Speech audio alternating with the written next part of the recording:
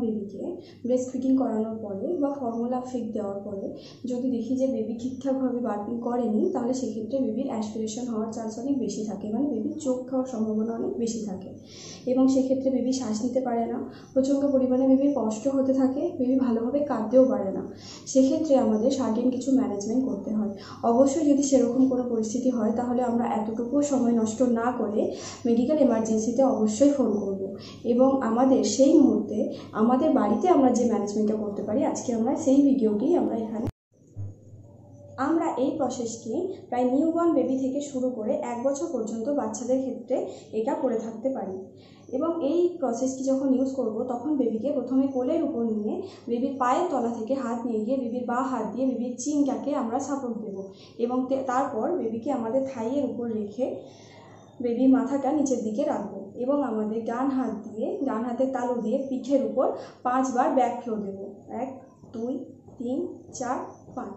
এবং তারপর বেবিকে ধীরে ধীরে সোজা করব। অবশ্যই বেবির সামনে ও পিছনে হাত দিয়ে সাপোর্ট দেওয়া থাকবে যাতে বেবি পড়ে না যায়। এবং তারপর বেবির চেস্টকে পাঁচবার আমরা চেস্ট থ্রাস্ট দেব। এইভাবে আমরা ততক্ষণ পর্যন্ত করতে থাকব, যতক্ষণ না বেবির ব্লকেজটা ডিসলজ হচ্ছে। অবশ্যই আমরা এক বছরের নিচে বাচ্চাদের ক্ষেত্রে চোকিং ম্যানেজমেন্টের জন্য অ্যাবডোমিনাল থাস ইউজ করব না। এক্ষেত্রে বেবিদের ইনজুরি হওয়ার চান্স অনেক বেশি থাকে। এরপরে আমরা দেখব যে আমরা যখন এক বছরের উপরে বেবিদের ক্ষেত্রে যদি চোখ হয়ে থাকে, তাহলে সেক্ষেত্রে আমরা কি ম্যানেজ করতে পারি? আমরা এতক্ষণ এক বছরের নিচে বাচ্চাদের যদি চোকিং হয়, তার কীভাবে ম্যানেজ করব? আমরা সেটা দেখছিলাম এবারে আমরা দেখে নেব যে আমরা এক বছরের উপরে যদি বাচ্চাদের হঠাৎ করে খাবার খাওয়ার সময় যদি বিষম লেগে যায়, তাহলে তার ক্ষেত্রে আমরা কীভাবে ম্যানেজ করতে পারি? প্রথম তো আমরা বেবিকে সোজাভাবে দাঁড় করাবো এবং বেবির আমরা পিছন দিকে থাকব। অবশ্যই বেবি তখন পজিশন ঠিক এরকমভাবে থাকবে। এরপর আমরা বেবিদের ক্ষেত্রে যে প্রসেসটা ইউজ করব, সেটা হলো অ্যাবডোমিনাল থ্রাস্ট এবং ব্যাক ফ্লো বেবিকে অবশ্যই যখন আমরা ব্যাক ফ্লো দেব, বেবিকে কিন্তু সোজা করে দাঁড় করিয়ে রেখে আমরা বেবির পিঠে ক্যাপিং করব না।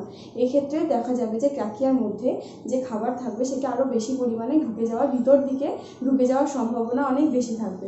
সেই জন্য বেবিকে আমরা সামান্য বেন্ড করে দেব এবং তারপর আমরা বেবির পিঠে দুটো, পিঠের মাঝখানে আমরা বেবি আমাদের হাতের তালুর হিল দিয়ে আমরা পাঁচবার ব্যাক ফ্লো দেবো। যদি দেখি যে বেবির খাবারটা বেরিয়ে আসেনি, তাহলে আমরা বেবির ক্ষেত্রে অ্যাবডোমিনাল থার্স্ট ইউজ করব। সেক্ষেত্রে বেবির আম্বেলিকাস এবং যে রিপ কেজ আছে তার নিচ থেকে যে মিড পয়েন্টটা আছে, তার মধ্যে আমরা ফার্স্টে আমাদের নন ডোমিনেন্ট হ্যাংটা রাখব এবং তার উপরে আমাদের ডোমিনেন্ট হ্যাং মানে আমাদের রাইট হ্যান্ড রাখব। রাখার পর আমরা ভিতর দিকে আমরা প্রেশার দিতে থাকব, ভিতর থেকে ওপর দিকে, ভিতর দিকে এবং উপর দিকে। এক, দুই, তিন, চার পাঁচ। এবং এরপর আমরা দেখব বেবি কন্ডিশন কেমন আছে। এরপর আমরা এরকমভাবে কন্টিনিউ অ্যাবডোমিনাল থাস এবং ব্যাক ফ্লো কন্টিনিউ করতে থাকব যতক্ষণ না বেবি শ্বাসনালীর মধ্যে যে খাবারটা আটকে গেছে সেটা যতক্ষণ না বাইরের দিকে বেরিয়ে আসছে।